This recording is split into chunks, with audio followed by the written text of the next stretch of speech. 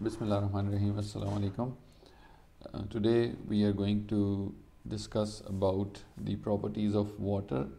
We were studying about water and aqueous solutions in the human body. And in today's lecture, we are going to discuss uh, how water acts as a solvent.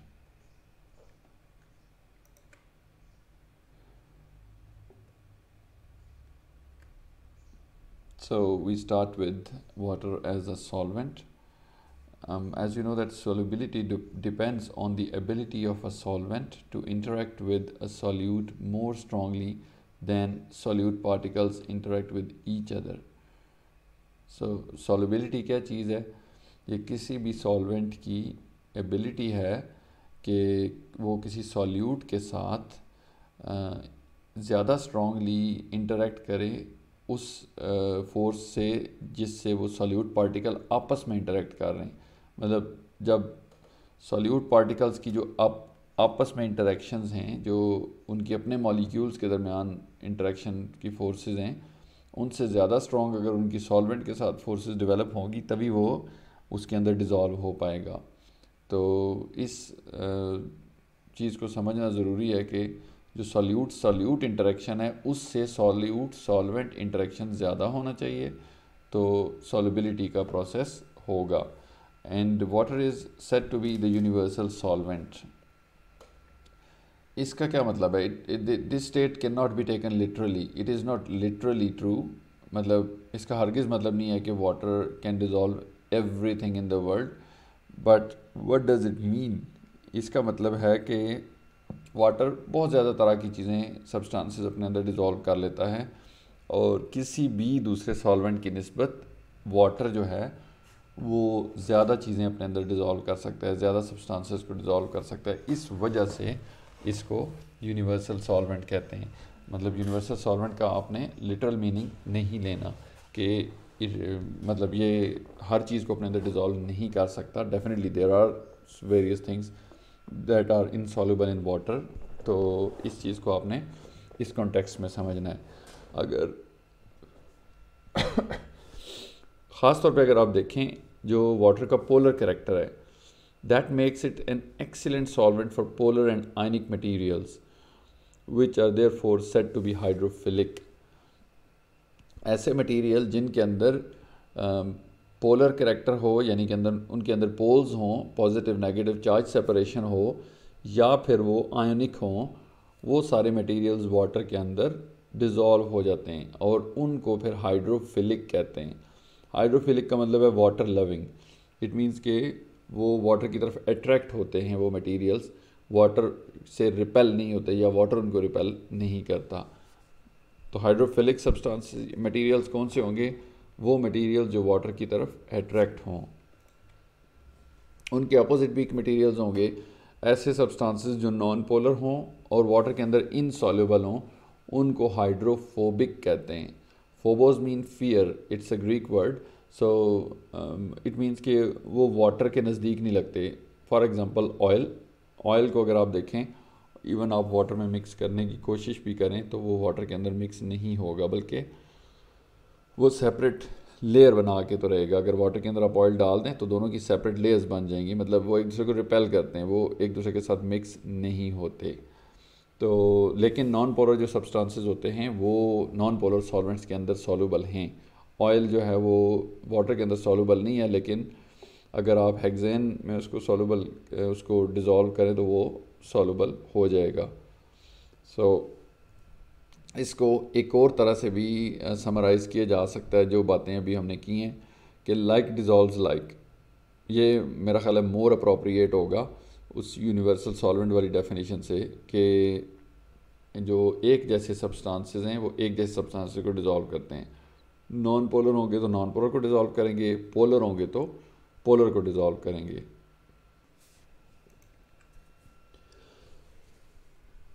So so, water जो है, उसके अंदर salts कैसे dissolve होते हैं? इस process को भी हमने ऑब्ज़र्व करना है या देखना है। फॉर एग्ज़ाम्पल सॉल्ट्स की क्या क्या एग्ज़ाम्पल्स हैं? सोडियम क्लोराइड है K two H P O four ये जो सॉल्ट्स होते हैं, इनके अंदर आयनिक फोर्सेस होती हैं। मतलब ये आयनिक कंपाउंड्स हैं आयनिक सब्सटेंसेस हैं। तो ये आयनिक फोर्सेस से जुड़े हुए होते हैं। अब होता क्या है कि जैसा कि आपको पता है कि जो आयंस होते हैं वो बिल्कुल इलेक्ट्रिकल चार्जेस की तरह होते हैं। एक पे पॉजिटिव चार्ज होता है एक पे नेगेटिव चार्ज होता है। तो वो आ, कैसे इंटरेक्ट करते हैं वाटर के साथ? वो कूलम्स लॉ के तहत इंटरेक्ट करते हैं। ये कूलम्स लॉ की इक्वेशन दी हुई है। यहाँ पे एफ़ क्या है? F is the force between two electrical charges दो चार्जेस जो दो आइंस हैं, उनके दरमियान जो फोर्स है, उसको एफ़ से डिनोट करते हैं। वो चार्जेस कौन कौन से होंगे? ये क्यू वन और क्यू टू ये दोनों आइंस हैं या वो चार्जेस हैं? और ये आइंस एक दूसरे से जितने फासले पे हैं या जिस डिस्टेंस से आपस में सेपरेटेड हैं, उस डिस्टेंस को आर कहेंगे। आर उनके दरमियान का डिस्टेंस है। डी क्या है? D is the dielectric constant of the medium between them D जो भी सॉल्वेंट है फॉर एग्ज़ाम्पल अगर वाटर है तो उसका डाइलेक्ट्रिक कांस्टेंट होगा। और के जो है डेफिनेटली वो प्रोपोर्शनैलिटी कांस्टेंट है और ये उसकी वैल्यू दी हुई है। तो इस लॉ की मदद से आ, हमें पता चलता है कि जो सॉल्यूट है या जो सॉल्ट है वो वाटर के अंदर या किसी भी सॉल्वेंट के अंदर कैसे डिज़ोल्व होगा। तो अगर देखें कि डाइलेक्ट्रिक कांस्टेंट किसी भी मीडियम का इंक्रीज़ करता है तो जो उसकी एम्बेडेड चार्जेस के दरमियान फोर्स है, वो डिक्रीज़ करेगी। तो इसका मतलब है कि जो डाइलेक्ट्रिक कांस्टेंट है, ये मैयर है जो अपोजिट चार्जेस हैं उनको आपस में दूर रखने का। अगर आप देखें तो एफ़ और डी का रिलेशन अगर देखें तो ये एक दूसरे में इन्वर्सली प्रोपोर्शनल हैं। इट मीन्स कि डायलैक्ट्रिक कांस्टेंट जितना ज़्यादा होगा फोर्स उन दो आइंस के दरमियान मतलब एन है तो एन और CL के आपस में फोर्स जो है वो कम रहेगी उस सॉल्वेंट के अंदर मतलब जिस सॉल्वेंट का डायलैक्ट्रिक कॉन्सेंट ज़्यादा है। तो जब उनकी फोर्स आपस में कम रहेगी इट मीन्स कि वो सॉल्वेंट के अंदर अच्छी तरह डिज़ोल्व हो जाएँगे। अगर उनकी आपस में फोर्स ज़्यादा है सॉल्वेंट के साथ फोर्स की नस्बत तो फिर तो डेफिनेटली वो ब्रेक ही नहीं होगा मतलब उसका मालिक्यूल उसके सॉल्वेंट के अंदर डिज़ोल्व नहीं होगा। लेकिन अगर वो फोर्स कम होगी तो फिर वो डिज़ोल्व होगा। तो इससे समझ लगी कि जिन सॉल्वेंट्स का डाइलेक्ट्रिक कांस्टेंट ज़्यादा होगा वो आयनिक सब्सटेंसेस को ज़्यादा इजीली डिज़ोल्व कर कर पाएँगे। तो वैक्यूम में अगर देखें तो डी जो है वो यूनिटी एस की वैल्यू वन है और एयर के अंदर ये नेग्लिजिबली लार्जर है। अब ये नीचे आपके देखें कि कुछ सॉल्वेंट्स के डाइलेक्ट्रिक कांस्टेंट्स आपको दिए गए हैं। तो अगर आप इनको देखें इनके डाइपोल मोमेंट की वैल्यू भी साथ लिस्ट की गई है। तो यहाँ पे आप देखें तो वाटर जो है आपको तकरीबन टॉप वाले डाइलेक्ट्रिक कांस्टेंट वाले सॉल्वेंट्स में मिलेगा। फॉर्माइड के बाद वाटर को देखें तो उसका डाइलेक्ट्रिक कांस्टेंट बाकी जितने भी सॉल्वेंट्स लिस्टेड हैं, उनकी नस्बत ज़्यादा है। इट मीन्स कि ये आयनिक सब्सटेंसेस को बहुत ईजीली और अच्छे तरीके से डिज़ोल्व कर सकता है। तो इसमें आपने देखा कि जो डायलैक्ट्रिक कांस्टेंट ऑफ़ वाटर है that is among the highest of any pure liquid मतलब किसी भी जो प्योर लिक्विड है, उसकी नस्बत ज़्यादा है इसका डायलैक्ट्रिक कांस्टेंट सो अगर आप नॉन पोलर सब्सटेंसेस को देखें, जिन, जिस तरह हाइड्रोकार्बन्स हैं, उनके डायलैक्ट्रिक कांस्टेंट स्मॉल हैं. ये हम इस स्लाइड को दोबारा देखते हैं. यहाँ पे ये टेबल मैंने पुरानी कॉपी किया जस्ट रिप्रेजेंटेटिव जो मालिक्यूल्स हैं, कुछ वो कॉपी किए तो जो नॉन पोलर सब्सटेंसेस है, वो डेफिनेटली इससे बहुत नीचे थे। तो उनकी वैल्यूज़ बहुत स्मॉल थी। इवन आप मेथनॉल एथनॉल को देख लें, इनमें हाइड्रोजन बॉन्डिंग भी है, लेकिन स्टिल वाटर से इनका डायलैक्ट्रिक कांस्टेंट काफ़ी कम है। तो जो नॉन पोलर सब्सटेंसेस हैं, उनके डायलैक्ट्रिक कांस्टेंट बहुत छोटे होते हैं। तो इस वजह से होता क्या कि अगर आप हेक्सेन या बेंजीन के अंदर कोई सॉल्ट इंक्लूड करें या सॉल्ट उसके अंदर ऐड करें तो क्या होगा कि जो उसकी फोर्स ऑफ़ अट्रैक्शन होगी उन आइंस के दरमियान, उस सॉल्वेंट में, वो वाटर की नस्बत थर्टी टू फोर्टी टाइम्स ज़्यादा होगी। लिहाजा वो आपस में ही मिले रहेंगे और वो अलग होके तो सॉल्वेंट मालिक्यूल्स के साथ इंटरेक्ट नहीं कर पाएँगे। इस तरह से वो उस सॉल्वेंट के अंदर डिज़ोल्व भी नहीं होगा, जो भी सॉल्ट है। लेकिन अगर आप नॉन पोलर सॉल्वेंट्स को देखें फॉर एग्ज़ाम्पल वाटर में तो जो आइंस ऑफ़ अपोजिट चार्जेस हैं वो अपने एक दूसरे को बहुत ज़्यादा स्ट्रांगली करते हैं अट्रैक्ट और उसके अंदर डिज़ोल्व नहीं होते लेकिन अगर वाटर के अंदर देखें या पोलर सॉल्वेंट्स के अंदर देखें तो वहाँ पे उनके दरमियान की फोर्सेस कम होती हैं सॉल्वेंट के साथ उनकी फोर्सेस ज़्यादा होती हैं जिसकी वजह से वो सेपरेटेड रहते हैं और उसके अंदर डिज़ोल्व रहते हैं ये अब आप ज़रा इस डायग्राम को देखें तो आपको ये चीज़ ज़्यादा अच्छी तरह समझ आ जाएगी। ये समझें कि कोई सॉल्ट है, ये ब्लू कलर का जो पॉजिटिव आइन है, ये उसका पॉजिटिव पार्ट है और ये जो मेजेंटा कलर में आपको नेगेटिव आइन नज़र आ रहा है, ये उसका नेगेटिव पार्ट है। अब ये सॉल्वेंट के अंदर दोनों सेपरेट हुए हैं। लेट से सॉल्वेंट वाटर है तो वाटर इसके साथ कैसे इंटरेक्ट करेगा? जो वाटर के नेगेटिव पोल्स हैं, वो पॉजिटिव के साथ इंटरेक्ट कर रहे हैं। देखें ऑक्सीजन सारे जो हैं, वो इस तरह से उसके साथ इंटरेक्ट कर रहे हैं और जो नेगेटिव पार्ट है सॉल्ट का, उसके साथ सारे हाइड्रोजन्स इंटरेक्ट कर रहे हैं क्योंकि उन पर पार्शियल पॉजिटिव चार्जेस थे। अब ये जो फोर्सेस हैं सॉल्वेंट और इन आइंस के दरमियान these are larger than the forces between these ions of the salt मतलब इस पॉजिटिव और नेगेटिव आइन के दरमियान जो फोर्सेस थी उससे चूँकि सॉल्वेंट का डायलैक्ट्रिक कांस्टेंट ज़्यादा है, लिहाजा वो फोर्सेस वीक हो गई हैं और सॉल्वेंट के मालिक्यूल्स की फोर्सेस उसके साथ ज़्यादा स्ट्रॉन्ग होंगी, जिसकी वजह से वो इसके अंदर डिज़ोल्व हो रहा है। और इस वजह से इस प्रोसेस को जो सॉल्वेंट के, जो सॉल्ट के आइंस सॉल्वेंट मालिक्यूल्स के दरमियान में इस तरह से गिरे रहते हैं, इस प्रोसेस को सॉल्वेशन कहते हैं। And these ions are said to be solvated तो अगर सॉल्वेंट वाटर होगा तो then we call them to be hydrated मतलब अगर कोई और सॉल्वेंट होगा तो फिर सिर्फ़ सॉल्वेटेड की टर्म इस्तेमाल करेंगे। लेकिन अगर सॉल्वेंट वाटर होगा तो फिर हम हाइड्रेटेड की टर्म इस्तेमाल करेंगे। यानी कि अब ये जो आयंस हैं सॉल्ट के, ये हाइड्रेट हो चुके हैं। इनके इर्द गिर्द सॉल्वेंट के मालिक्यूल्स इकट्ठे हो गए हैं, जिसकी वजह से ये उसके अंदर डिज़ोल्व हो गए हैं।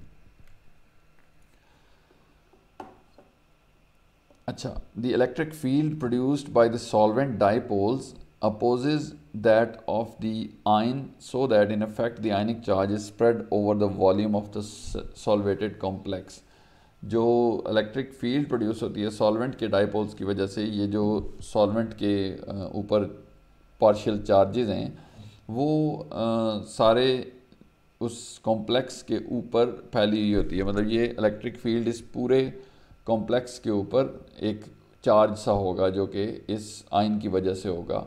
और and this arrangement greatly attenuates the coulombic forces between ions which is why polar solvents have such high dielectric constants और इन अरेंजमेंट्स की वजह से जो कोलम्बिक फोर्सेस हैं आइंस के दरमियान, इनको ये अरेंजमेंट ओवरकम कर लेते हैं। अब देखें कितनी ब्यूटीफुल अरेंजमेंट है। जो ये वाटर के मालिक्यूल उसके गिर्द जमा हो गए हैं। तो ये जो अरेंजमेंट है ये इसके आपस की कोलम्बिक फोर्सेस को ओवरकम कर लेती है और इस वजह से इनका इन सॉल्वेंट्स का डायलैक्ट्रिक कांस्टेंट भी इतना ज़्यादा है लाइक वाटर का। अब अगर देखें आप the orienting effect of ionic charges on dipolar molecules is opposed by thermal motions which continually tend to randomly reorient all molecule thermal motions क्या होती हैं? अगर टेम्परेचर की इफ़ेक्ट की वजह से आपको पता है कि सॉल्वेंट के मालिक्यूल्स इन मोशन होते हैं, वो मूव करते हैं।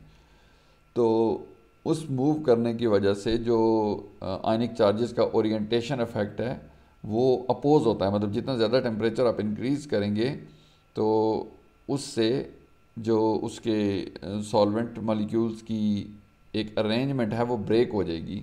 तो रैंडम हो जाएगी उसकी ओरिएंटेशन तो वो उतनी ऑर्गेनाइज्ड नहीं रहेगी जिस तरह पहले थी। तो ये किसी भी जनरल सॉल्वेंट के लिए। तो इस वजह से जो डाइपोल्स होते हैं, किसी भी सॉल्वेटेड कॉम्प्लेक्स में, वो पार्शली ओरिएंटेड होते हैं। लेकिन वाटर के साथ क्या मामला है कि वाटर के अंदर अगर आप देखें, कि इसकी जो डायलैक्ट्रिक कांस्टेंट है, ये ज़्यादा है दूसरे लिक्विड्स की नस्बत, क्योंकि इसके अंदर जो हाइड्रोजन बॉन्डिंग है ना वो इसकी ओरिएंटेशन को ख़राब नहीं होने देती। मतलब इसके जो मॉलिक्यूल्स हैं, वो प्रॉपरली एक साइड पे ओरिएंटेड रहते हैं। जिस तरफ़ वो उनकी हाइड्रोजन बॉन्डिंग मौजूद होती है। तो इस वजह से इस पे इतना ज़्यादा अफेक्ट नहीं होता टेम्परेचर का, जिसकी वजह से ये रेजिस्ट करता है रेंडमाइजेशन को और मोर अफेक्टिवली आइनिक चार्जेस को डिस्ट्रीब्यूट कर लेता है। मतलब ये जो अरेंजमेंट है मॉलिक्यूल्स की ये हाइड्रोजन बॉन्डिंग की वजह से बरकरार रहती है। ये इतनी आसानी से ब्रेक नहीं होती, आम सॉल्वेंट्स की नस्बत। इस वजह से इसका डाइलेक्ट्रिक कांस्टेंट बहुत ज़्यादा है। और जो, ये तो बात थी चार्ज मालिक्यूल्स की। व्हाट अबाउट अनचार्ज मालिक्यूल्स के? जो अनचार्ज हैं न्यूट्रल मालिक्यूल्स हैं, वो कैसे वाटर के अंदर डिज़ोल्व होते हैं? चार्ज तो ये थे कि उनके आइंस के गिर्द वाटर मालिक्यूल्स सराउंड हो जाते हैं और हाइड्रेशन के प्रोसेस के थ्रू वो सॉलेबल होते हैं। लेकिन अगर आप देखें अनचार्ज पोलर मालिक्यूल्स को तो वो कैसे वाटर में डिज़ोल्व होते हैं, उनकी जो बॉन्ड डाईपोल्स हैं that may they make them soluble in aqueous solutions उन्हीं रीजंस की वजह से, जिन रीजंस की वजह से आयनिक सब्सटेंसेस डिज़ोल्व होते हैं मतलब आयनिक पे चार्जेस होते हैं तो जो पोलर मालिक्यूल्स हैं, उनके ऊपर पार्शियल चार्जेस होते हैं और वही पार्शियल चार्जेस वाटर के साथ अट्रैक्शन डेवलप करते हैं। For example the solubilities of polar and ionic substances are enhanced if they carry functional groups such as hydroxyl keto carboxyl और अमीनो ग्रुप्स ये ग्रुप्स जिनके अंदर होंगे, उनकी जो सॉलिबिलिटी है वो एनहेंस हो जाएगी वाटर के अंदर. क्यों? क्योंकि इन ग्रुप्स की वजह से वो कंपाउंड वाटर के साथ हाइड्रोजन बॉन्डिंग कर सकता है. अब आप देखें मतलब फॉर एग्ज़ाम्पल ये अल्कोहल का मॉलिक्यूल है आर ओ एच इसको आप देखें कि ये वाटर मॉलिक्यूल के साथ दो अल्कोहल मॉलिक्यूल्स ने हाइड्रोजन बॉन्डिंग डेवलप की हुई है। इस वजह से ये इसके अंदर इजीली सॉलेबल हैं। इसी तरह अगर आप कीटोन को देखें, ये कीटो ग्रुप है तो इसके ऑक्सीजन ने भी दो वाटर मॉलिक्यूल्स के साथ हाइड्रोजन बॉन्डिंग डेवलप की है। तो जो पोलर और अनचार्ज सब्सटेंसेस हैं, वो इस तरह से वाटर के साथ बॉन्डिंग और इंट्रैक्शंस डेवलप करते हैं, जिसकी वजह से वो वाटर के अंदर सॉल्यूबल होते हैं। नेक्स्ट टॉपिक है amphiphiles form micelles and bilayers amphiphiles क्या होते हैं, ये भी हम देखते हैं। Most biological molecules have both polar and non polar segments and are therefore simultaneously hydrophilic and hydrophobic अगर आप बायोलॉजिकल मालिक्यूल्स को देखें फॉर एग्जांपल फैटी एसिड्स को तो उनके अंदर एक ही वक्त में पोलर और नॉन पोलर एंड दोनों मौजूद होते हैं। तो वो बैक वक्त हाइड्रोफिलिक भी होते हैं और हाइड्रोफोबिक भी होते हैं। फॉर एग्ज़ाम्पल ऐसे मालिक्यूल्स की एग्ज़ाम्पल क्या लेंगे? फैटी एसिड आइंस ये देखें सोप के आइंस को देखें। आप ये नीचे जो दो आइन दिए गए हैं, ये फैटी एसिड आइंस हैं। सोप्स वगैरह में पाए जाते हैं। पालमिटेट और ओलिएट ये पामिटिक एसिड से पामिटेट ड्राइव्ड है। यहाँ पे ओ नेगेटिव है। अगर ओ एच होता तो पामिटिक एसिड होता। और इस तरह जो ये दूसरा नीचे वाला ओ नेगेटिव है यहाँ ओ एच होता तो ओलिक एसिड होता। लेकिन ये ओलिएट आयन है। क्योंकि इस पर इसने एक प्रोटॉन डोनेट किया हुआ है। अब अगर आप देखें तो इसका एक एंड ये वाला जो एंड है, ये हाइड्रोफिलिक है। मतलब ये ऑक्सीजन जो है वाटर के साथ हाइड्रोजन बॉन्डिंग डेवलप कर सकते हैं। और जबकि दूसरा एंड का अगर देखें, जिस पे एक लंबी कार्बन चेन आपको नज़र आ रही है तो ये चूँकि नॉन पोलर एंड है, लिहाजा ये वाला हाइड्रोफोबिक होगा। अब ये ऐसे मॉलिक्यूल्स हैं, जो कि एक ही वक्त में हाइड्रोफिलिक करेक्टर भी रखते हैं हाइड्रोफोबिक करेक्टर भी रखते हैं। तो ऐसे मॉलिक्यूल्स को एम्पीफिलिक या एम्फीपैथिक मॉलिक्यूल्स कहते हैं। एम्फीफिलिक या एम्फीपैथिक मॉलिक्यूल्स मतलब जिनके अंदर दोनों तरह की चीज़ें मौजूद हों कि वो वाटर को अट्रैक्ट भी कर पाएँ और वाटर को रिपेल भी कर पाएँ तो ऐसे मालिक्यूल्स को एम कहते हैं। अब जब एक एम रिएक्ट करता है वो सॉल्वेंट के साथ तो क्या होता है? Water tends to hydrate hydrophilic portion of the amphiphile but it also tends to exclude its hydrophobic portion अब जिस तरह ये मालिक्यूल अगर वाटर के साथ इंटरेक्ट करेगा तो वाटर इस पोर्शन पे ये जो रेड कलर में आपको नज़र आ रहा है, यहाँ पे तो वाटर जमा हो जाएगा। लेकिन जो दूसरा इसका एंड है या दूसरा पोर्शन है, उसको वाटर एक्सक्लूड कर देगा। मतलब उसके साथ इंटरेक्शंस डेवलप नहीं करेगा तो उसको रिपेल करेगा। तो जो एम फाइल्स होते हैं, इस वजह से चूँकि एक साइड उनकी वाटर की तरफ़ अट्रैक्ट हो रही होती है, दूसरी रिपेल हो रही होती है तो वो वाटर डिस्पर्स्ड एग्रीगेट्स बनाते हैं, गुच्छे से बनाते हैं। जिनमें वो अरेंजमेंट होते हैं। और उन एग्रीगेट्स की को अगर आप देखें तो वो माइसेलिस की फॉर्म में जमा हो सकते हैं। माइसेली क्या होती हैं, ये भी आपको दिखाते हैं। Micelles are globules of up to several thousand amphiphiles arrange with their hydrophilic groups at the globule surface so that they can interact with the aqueous solvent while the hydrophobic groups associate at the centre so as to exclude the solvent ये next slide पे भी हम देखते हैं। ये ये वाली figure A part ये देखें, ये एक माइसली है। माइसली इसको, इसका क्रॉस सेक्शन दिखा ये एक ग्लोब्यूल है, एक गोल सा आप पानी के कतरे की तरह समझ लें। इसमें देखें कि ये मालिक्यूल सारे रेंज में ये जो रेड कलर आपको नज़र आ रहा है, ये उसका पोलर हेड है, वो जो भी मालिक्यूल आपको दिखाए थे। और ग्रीन कलर उसकी नॉन पोलर चेन है। तो रेड इसके जो सर हैं पोर्शन जो हेड ग्रुप्स हैं, ये सारे बाहर सरफेस की तरफ़ ओरिएंट हो जाते हैं, जो वाटर के साथ इंटरेक्ट करती है। और नॉन पोलर जो इसके पार्ट हैं, वो सारे इनसाइड की तरफ़ जमा हो जाते हैं, जो कि वाटर से दूर होती है साइड तो इस तरह ऐसे मालिक्यूल्स इस तरह के गुच्छे बनाते हैं, जिनको माइसेलीज कहते हैं। अब अल्टरनेटिवली अगर ये माइसेलीज ना बनाएँ तो ये बाइलेड शीट्स भी बना सकते हैं या वेजिकल बना सकते हैं, जिसमें वो भी ऐसी ही अरेंजमेंट है, अगर आप ये फिगर दोबारा देखें, ये राइट साइड वाली आप देखें तो ये बाइलेयर शीट्स हैं जिसके अंदर दो मालिक्यूल्स इकट्ठे हुए हुए हैं। मतलब ये डबल बाई लेयर के दो लेयर्स हैं इस शीट की। पहली लेयर में अगर आप ऊपर वाले लेयर में देखें तो ये पोलर हेड ग्रुप्स हैं। ये ग्रीन कलर की जो टेल नज़र आ रही है नॉन पोलर टेल है। इस तरह नीचे देखें, अगर दूसरी शीट को तो उसमें भी पोलर हेड ग्रुप्स और टेल्स तो टेल एक साइड पे रेंज हुई हुई हैं। और ये वाली साइड जो है वाटर रिपेलिंग है जबकि हेड्स सारे उसके एक जगह पे रेंज और वो वाटर के साथ इंटरेक्ट करने वाली साइड है। अब इस तरह से ये जो बाई लेयर्स हैं ये आ, मतलब मुख्तलिफ़ मेम्ब्रेन्स को भी बनाती हैं। जिस तरह आपको पता है कि सेल मेम्ब्रेन है वो भी एक लिपिड बाई लेयर स्ट्रक्चर है बिल्कुल इसी तरह का। मैं उसकी डिटेल्स आगे नेक्स्ट हम कुछ लेक्चर्स में पढ़ेंगे जहाँ पे लिपिड्स का चैप्टर होगा वहाँ पे वो कंप्लीट एक टॉपिक है। तो इस तरह के बाई लेयर्स भी जो एम पी फाइल्स होते हैं, वो बना लेते हैं। अब द इंट्रैक्शंस स्टेबलाइजिंग माइसली और bilayer are collectively described as hydrophobic force और hydrophobic interactions to indicate that they result from the tendency of water to exclude hydrophobic groups ये इंटरेक्शन जिनकी वजह से ये माइसली या ये बाई लेयर्स बनी हैं इन इंटरेक्शंस को मतलब देखें, ये जो हाइड्रोफोबिक पोर्शन हैं, ये एक साइड पे इकट्ठे हो गए हैं ना तो इन इंट्रैक्शंस की वजह से इस जो ये माइसली या बाइलेयर की फॉर्मेशन है, ये हुई है। तो इन इंट्रैक्शंस को इस वजह से हाइड्रोफोबिक फोर्सेस कहते हैं या हाइड्रोफोबिक इंट्रैक्शंस कहते हैं, जिनकी वजह से ये माइसलीज या बाइलेयर्स जो हैं, ये फॉर्म होते हैं। तो हाइड्रोफोबिक इंट्रैक्शन जो होते हैं they are relatively weak compare to hydrogen bonds and lack directionality hydrogen bonds की नस्बत जो ये इंट्रैक्शन हैं, ये वीक होते हैं, ये स्ट्रॉन्ग नहीं होते. हाइड्रोजन बॉन्ड मतलब मोर स्ट्रॉन्ग है इनसे. और इनमें हाइड्रोजन बॉन्ड की तरह की प्रॉपर डायरेक्शनैलिटी भी नहीं होती. हाइड्रोजन बॉन्ड तो एक बहुत ऑर्डर्ड अरेंजमेंट में बनते हैं, लेकिन ये जो माइसलीज हैं, यहाँ पे तो एक बहुत ऑर्डर्ड स्ट्रक्चर दिखाया गया, लेकिन एक्चुअली ये इतने ऑर्डर्ड नहीं होते. क्योंकि सारे जो नॉन पोलर टेल्स हैं, ये एक जैसी जगह पे इकट्ठे नहीं हो सकते तो ये थोड़ी सी डिसऑर्डर्ड इनकी अरेंजमेंट बनती है। ये आपको मैं बुक शेयर करूँगा तो उसमें आप देख लेंगे। उसमें एक फ़िगर दी हुई है जहाँ पे ये इसकी डिसऑर्डर्ड अरेंजमेंट भी दिखाई गई है। नेक्स्ट टॉपिक है प्रोटॉन मोबिलिटी प्रोटॉन मोबिलिटी क्या है?